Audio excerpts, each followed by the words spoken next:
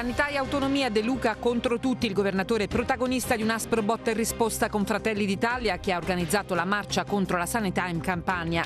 Battaglia anche sull'autonomia differenziata in programma incontro con il ministro Calderoli.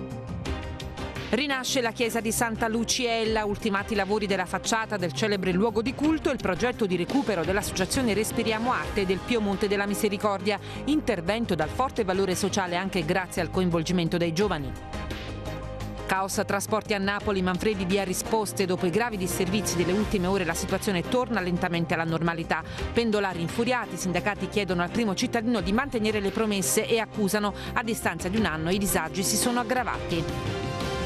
Sannio morì nel cantiere in sei vanno a processo, Torrecuso a distanza di tre anni dall'incidente sul lavoro costato la vita ad un operaio di Paupisi, il GIP del Tribunale di Benevento rinvia a giudizio il sindaco, dipendenti del comune e rappresentanti dell'impresa.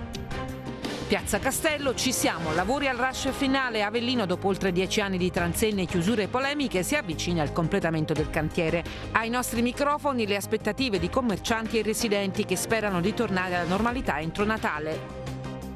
Anziani sfrattati, polemica a Salerno fa discutere il blitz dei vigili urbani contro il gruppetto che gioca a carte sul lungomare, opposizioni all'attacco, il comandante dei caschi bianchi assicura intervenuti dopo alcune segnalazioni ma nessun sequestro.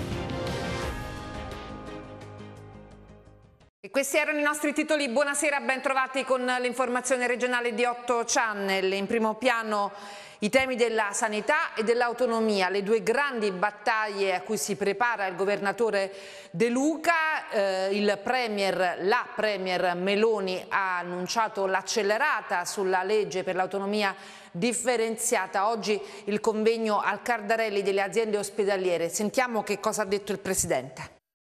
L'autonomia differenziata delle regioni entra ufficialmente nel programma della Premier Giorgia Meloni. Dal suo discorso alla Camera è emersa la volontà di dare esecuzione al progetto della Lega che ha già preparato la legge quadro. Un'accelerata che non piace alle opposizioni, il Partito Democratico e i 5 Stelle si dicono pronti alle barricate. Domani la prima conferenza Stato-Regioni con il neoministro Calderoli e sul punto il presidente della regione Campania, Vincenzo De Luca, dal palco del convegno promosso dalla Federazione delle aziende ospedaliere al Cardarelli di Napoli, avverte Autonomia per noi deve significare decentramento dei poteri e sburocratizzazione radicale. Ci sono due campi nei quali bisogna mantenere l'unità nazionale, ha detto De Luca, la scuola e la sanità. Su questo ovviamente non ci saranno cedimenti.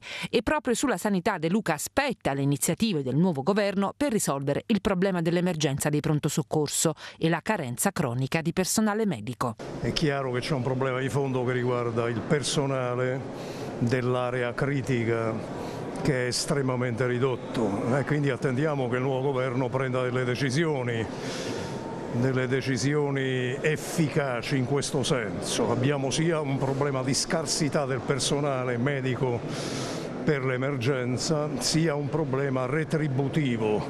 La condizione lavorativa dei medici che sono al pronto soccorso ovviamente è profondamente diversa da quella di altri settori.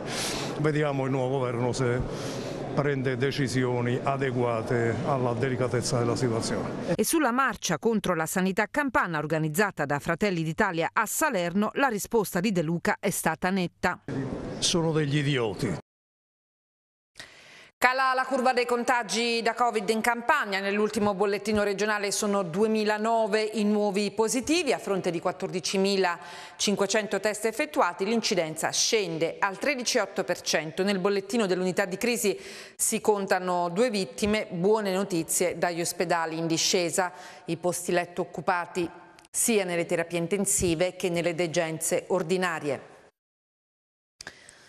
Assolto per legittima difesa, la prima sezione penale del Tribunale di Napoli ha assolto perché il fatto non costituisce eh, reato il gioielliere Giuseppe Castaldo che il 7 ottobre del 2015 ad Ercolano armato di pistola legalmente detenuta fece fuoco contro due rapinatori, Luigi Tedeschi e Bruno Petrone, uccidendoli sul colpo. La Procura di Napoli aveva chiesto l'archiviazione durante il dibattimento la soluzione di Castaldo Castaldo. Sulla vicenda che destò molto scalpore e polemiche, intervenne anche l'allora segretario della Lega Matteo Salvini che si schierò con l'imputato lanciando lo slogan Io sto con il gioielliere che scrisse sui social il neo ministro delle infrastrutture del governo guidato da Giorgia Meloni. Torna a splendere la facciata di Santa Luciella, siamo a Napoli, oggi disvelato l'ingresso della chiesa della celebre Capuzzella con le orecchie, il recupero nasce dall'impegno dell'associazione Respiriamo Arte. La chiesa di Santa Luciella, ai librai del centro antico di Napoli, famosa anche per il teschio con le orecchie, ospitato nel suo ipogeo, da oggi è una nuova facciata realizzata grazie alla collaborazione tra operatori pubblici e privati accomunati dalla volontà di prendersi cura e di valorizzare il patrimonio storico e artistico di Napoli e di sostenere le giovani generazioni. Sviluppare lavoro, siamo partiti da questo, e poi sviluppare lavoro con la cultura, logicamente è un binomio fantastico quindi abbiamo dato subito il nostro sostegno e finanziato quelle sono state le opere iniziali.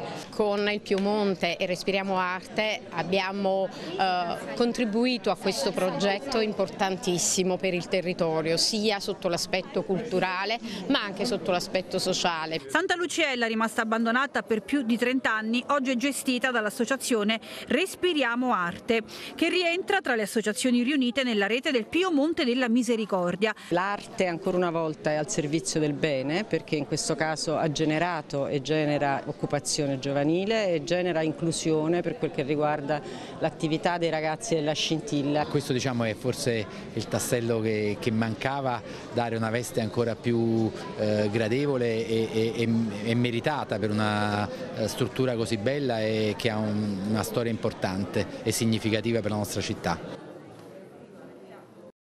Ancora sangue sulle strade, un nuovo incidente stradale in cui ha perso la vita Salvatore Silvestre di 38 anni, infermiere di Napoli che lavorava all'ospedale civile di Venezia. Stava guidando la sua moto lungo la strada camionabile nel territorio di Spinea la mattina presto del 25 ottobre per recarsi al lavoro quando è stato eh, impattato da un mezzo pesante che usciva da una ditta di trasporti all'altezza dell'incrocio con via Prati il caos trasporti a Napoli dopo i gravi disservizi delle ultime ore, la situazione torna lentamente alla normalità, pendolari infuriati, i sindacati chiedono risposte al primo cittadino. Sentiamo. Sei ore di caos totale, metro linea 1 chiusa, traffico su gomma impazzito. Dopo il martedì nero, oggi la situazione sembra tornata quasi alla normalità, ma nella città di Napoli il problema dei trasporti continua ad ingigantirsi senza soluzione. Non bastano i nuovi treni se poi tutta la tratta resta chiusa per un guasto al sistema di comunicazione e non basta aumentare le corse se poi gli autobus restano a terra in panne. Tutte le ricadute che stiamo avendo oggi, sia positive con l'arrivo dei nuovi treni, sia negative ovviamente eh, hanno una responsabilità legata alla vecchia amministrazione, però non vediamo nei cambi di rotta delle amministrazioni aziendali uh, come dire, la mano della nuova amministrazione comunale. Um, io voglio far presente che negli ultimi quattro anni sono andati via cinque direttori uh, generali in ANM e tre amministratori questo fa capire che la questione non è proprio serena, siamo ancora in fase di concordato,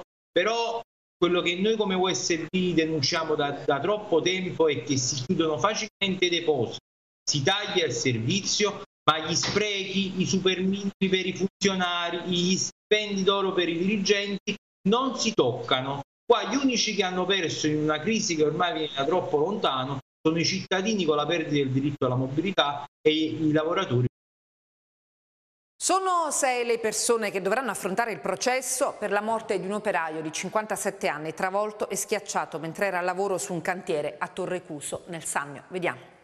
Sono sei le persone che affronteranno il processo per la morte di Vincenzo Iannella, l'operaio 57enne di Paupisi, travolto mentre era al lavoro. L'episodio nel settembre del 2019 a Torrecuso. L'uomo stava lavorando per conto di un'impresa del posto agli interventi di rifacimento delle fogne per l'istituto comprensivo del paese. Dovranno dunque affrontare il processo che partirà il 29 maggio 2023 l'amministratrice unica dell'impresa esecutrice dei lavori e l'esercente di fatto dei poteri direttivi della società società. Il sindaco di Torrecuso, il capo dell'ufficio tecnico comunale, uno dei soci, l'autista di una ditta di trasporti. A tutti viene contestata a vario titolo la violazione delle norme sulla prevenzione degli infortuni sul lavoro e la CGL annuncia. Rispetto al caso di Torrecuso, ma come in altri casi, adesso con i nostri legali verificheremo anche la Costituzione parte civile in quel processo. L'abbiamo votato nei nostri organismi dirigenti qualche anno fa che la CGL si costituirà parte civile laddove viene ammessa in tutti i processi che vedono incidenti dove si denota la responsabilità eh, dell'azienda perché non può essere più che un genitore, un padre di famiglia esce la mattina per lavorare e poi non torna più a casa. Come si ricorderà secondo una prima ricostruzione, mentre era in uno scavo profondo 5 metri l'operaio sposato e padre di due figli in tenera età era stato travolto da una massa di terreno che l'aveva schiacciato e non gli aveva dato scampo. E Valle rimarca quanto ancora ci sia da fare per la sicurezza. Incrementare gli organici dell'ispettorato del lavoro perché inizia a serpeggiare certo, un certo senso di impunità eh, perché non ci sta più il controllo.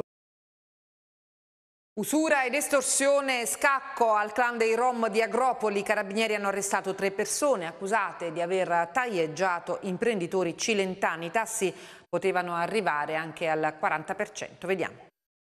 Blitz nel Cilento dove tre persone sono state arrestate con l'accusa di usura ed estorsione. Destinatari delle misure restrittive sono padre e due figli, un uomo e una donna, appartenenti al clan Cesarulo Marotta e già noti per reati specifici, reiterati e infraquinquennali. Per i due uomini si sono aperte le porte del carcere, per la donna invece gli arresti domiciliari.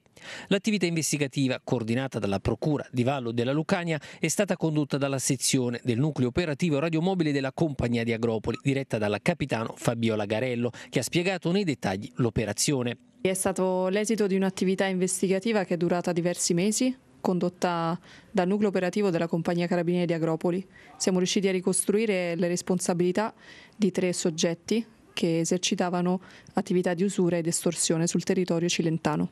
Si tratta di diversi episodi che hanno riguardato due vittime in particolare.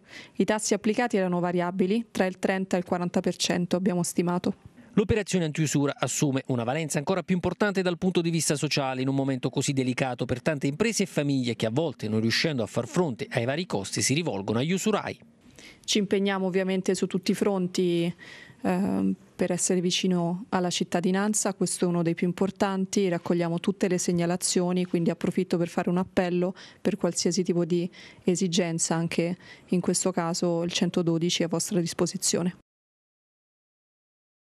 Omicidio Gioia ad Avellino, al via la perizia psichiatrica per i due imputati, nuova udienza per il processo dell'omicidio del 53enne ucciso a coltellate dal fidanzato della figlia nell'aprile del 2021. Il Tribunale di Avellino ha nominato il dottore Giuseppe Sciaudone, si inizia il 31 ottobre, il secondo accesso in carcere il 19 novembre, il primo ad essere sottoposto a perizia psichiatrica sarà l'imputato Giovanni Limata, poi toccherà alla ex fidanzata Elena Gioia da stabilire se i due imputati erano pericolosi socialmente all'epoca dei fatti e se erano affetti da malattie psichiche. Nessun Far West, la situazione è sotto controllo, il sindaco di Benevento Clemente Mastella tranquillizza dopo gli episodi che si sono verificati nel centro storico. Vediamo. Nessun Far West, situazione sotto controllo. Mastella tranquillizza dopo il Comitato per l'Ordine e la Sicurezza Pubblica che si è tenuto questa mattina in prefettura Benevento. Un vertice richiesto dal sindaco dopo gli inquietanti fenomeni di cronaca registrati nelle ultime ore nel centro storico cittadino. Dalla rissa scattata a seguito di un tentativo di violenza sessuale all'incendio di un bar in corso Garibaldi. Nessun Far West, c'è controllo, eh, c'è prevenzione. Di questo do atto alle forze di polizia con la salvaguardia diciamo, da parte del prefetto che è l'incaricato primo per quanto riguarda l'ordine e la sanità della nostra comunità. Non ci sono elementi che posso segnalare un momento vertiginoso di criminalità. Certo, esiste la criminalità eh, anche da noi, però insomma questo non è che deve far ripiegare né ritenere che la città sia in preda a paura o preoccupazione, quindi nessun far west, non ci sarà, non c'è nessun far west. Mastella annuncia poi novità per il sistema di videosorveglianza in centro storico. Il piano telecamere è stato già mandato da parte del comune al prefetto che lo sta facendo esaminare le forze di polizia e subito dopo i morti saranno un incontro ad hoc per quanto riguarda appunto la videosorveglianza. E il prefetto Torlontano fa il punto sulle indagini. Abbiamo delle immagini per quanto riguarda eh, l'incendio del bar sulle quali stiamo lavorando, così come per gli altri episodi eh, parlo dell'accoltellamento, eh, è stato assicurato alla giustizia l'autore e sono quindi in corso anche approfondimenti per quanto riguarda questi episodi. E su tutti c'è stata una risposta eh, rapida, efficace e per molti di essi abbiamo già provveduto ad assicurare alla giustizia gli autori. È deceduto in mattinata al CTO di Napoli Mario Solimeno, il 29enne di Eboli ferito a colpi di pistola in un agguato a Rione Pescara lo scorso 29 settembre. Le sue condizioni si sono improvvisamente aggravate fino al tragico epilogo. Per l'artigiano salernitano non c'è stato nulla da fare. Il 29enne venne raggiunto da un proiettile al collo. Carabinieri e Procura di Salerno indagano per omicidio volontario. Andiamo ad Avellino, in piazza Castello, verso il rush finale. Dopo oltre dieci anni di transenne e cantieri, chiusure e polemiche, si va verso il completamento della piazza. Vediamo. Piazza Castello eterna incompiuta il centro storico spera nel rush finale dei lavori. Prende forma la piazza simbolo del centro antico e commercianti e residenti sperano che i lavori siano finiti entro Natale. Speriamo che per Natale tutto sommato finiscano perché già abbiamo avuto un forte danno con questa, queste chiusure queste, e le varie problematiche. Dopo tanto tempo era anche giusto ridonare alla cittadinanza una parte storica bella insomma e importante della, della, città. Spero ricca di attività, ricca di persone, mi raccontavano che in passato veniva anche uh, per le calde rosse qualcuno che i colleghi facevano paso pranzo all'aperto, quindi mi auguro che presto ritorniamo a fare paso pranzo all'aperto. Sono almeno 15 anni che, sa, che noi siamo qua e che la piazza non stanno i lavori, quindi ci si augura anche per lo sviluppo di questa parte del territorio. Intanto traffico e nuovo piano mobilità dovranno fare i conti da novembre con il debutto ad Avellino della metro leggera. Proprio nel centro storico il passaggio della metro potrebbe creare non pochi problemi. Se parliamo di centro storico dovrebbero renderlo anche più vivibile, più accessibile, così insomma non è troppo bello vedere questa cosa, no? Fa discutere a Salerno il blitz dei vigili urbani nel mirino gli anziani che giocano a carte sul lungomare. Tavoli e sedie mettono a rischio il decoro. Vediamo. Anziani che giocano a carte sul lungomare di Salerno e di vigili urbani che, dopo una segnalazione, intervengono per sgomberare l'aria, anche perché tavoli e sedie tutto il giorno occupano lo spazio sulla passeggiata, agganciati con pesanti catene di ferro. Il blitz dei caschi bianchi ha scatenato un vespaio di polemiche, opposizioni all'attacco e aspre critiche sui social. Il comandante dei vigili di Salerno però ridimensiona il caso. Non c'è stato nessun tipo di sequestro, nessun tipo di verbale, c'è stata soltanto una segnalazione da parte di diversi cittadini che hanno detto che eh, quando finiscono di giocare questi vecchietti, queste persone anziane, sistemano questi tavolini con queste sedie, con, uh, con una catena sui viali e quindi diciamo non è un bel vedere. Gli anziani dunque potranno restare sul lungomare ma garantendo il decoro. Previsto un incontro con l'amministrazione comunale per trovare una soluzione capace di accontentare tutti. Ci mettiamo sul lungomare per fare una partita, siamo tutte persone anziane, tutti pensionati, lo Stato a noi non ci ha dato niente, noi non prendiamo rete di cittadinanza, bonus sociale, prendiamo niente. Sono venuti l'altra volta, togliete le sedie di là perché qui non stanno bene, metteteli l'altra, metteteli là, ci dissero due vigili, proprio stavo io. Abbiamo preso le sedie, da qua e le abbiamo messe là. L'abbiamo messo un'altra volta, dovete toglierli, poi, poi ieri è venuto anche il comandante e ha detto che poi ci faceva sapere lui che cosa dovevamo fare. La sfida del turismo passa anche dall'Università Napoli, primi laureati nel corso di Hospitality Manager della Federico II. La sfida del turismo passa per la collaborazione di tutte le componenti territoriali, non solo dell'imprenditoria dedicata e delle istituzioni, ma anche dell'istruzione. Per questo si guarda con favore al corso in Hospitality Manager della Federico II, che oggi ha visto il Graduation Day a Napoli. Un percorso importante, un percorso innovativo, un percorso sul quale abbiamo investito molto è il primo corso in Italia in Hospitality Management, un corso quindi unico per adesso, innovativo e che vede oggi i primi laureati. 60 studenti che hanno raggiunto il loro obiettivo finale dopo tre anni di lavoro duro. Una didattica innovativa e rispondente alle richieste del settore dunque per cogliere le opportunità che ne derivano e che ne deriveranno. È un corso di laurea diverso dalla impostazione italiana tradizionale con un forte approccio internazionale, eh, innovativo e, ed era una sperimentazione quindi è stato un lavoro meraviglioso di squadra tra università, istituzioni e mondo delle delle imprese. Una sfida importante quindi col territorio che si è fatto trovare pronto. Una grande sfida, sfida che hanno saputo cogliere gli studenti, hanno saputo cogliere i docenti e anche il territorio. Speriamo che questo corso sia solo il primo passo verso una formazione specialistica nel settore del turismo e dell'ospitalità di cui tanto ha bisogno la nostra regione. Salvare l'alto calore e la gestione pubblica dell'acqua ad Avellino, politica e mondo sindacale hanno incontrato il vice governatore Bonavitacola. Vediamo.